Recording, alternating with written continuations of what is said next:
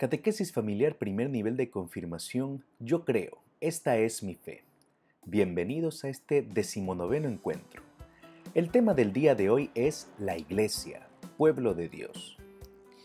Ya sabes que el alma de la Iglesia es el Espíritu Santo y que su principal función es hacer presente a Jesucristo. Hoy aprenderemos a ver la Iglesia como el nuevo pueblo de Dios.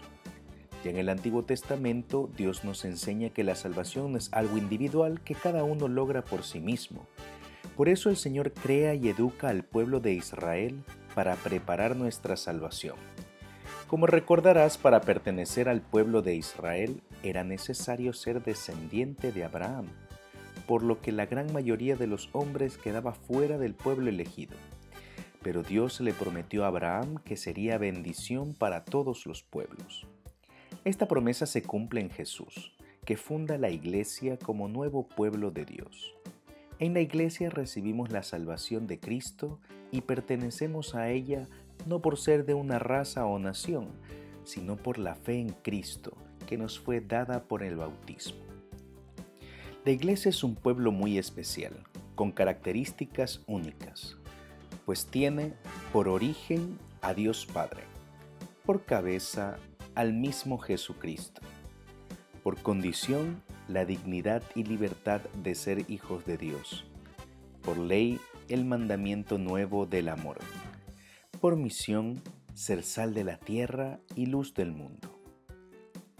Todo pueblo debe tener una organización para funcionar.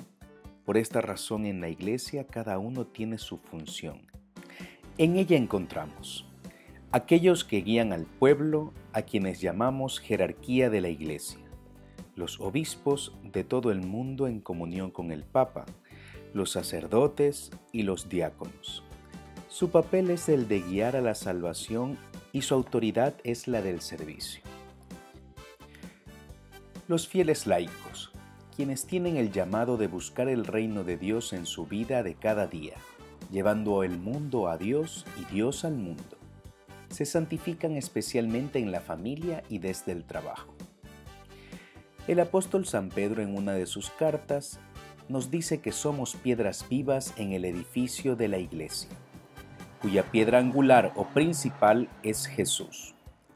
Eso significa que tienes un lugar en la iglesia, que no da igual que participes vivamente en ella o no. ¿Cómo se ve una pared cuando le faltan ladrillos? Pues bien, así es la iglesia. Cuando no estás activo en ella, dejas un espacio que nadie más puede llenar.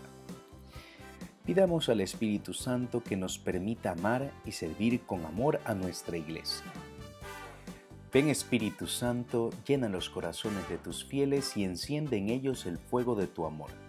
Envía Señor tu Espíritu y renueva la faz de la tierra.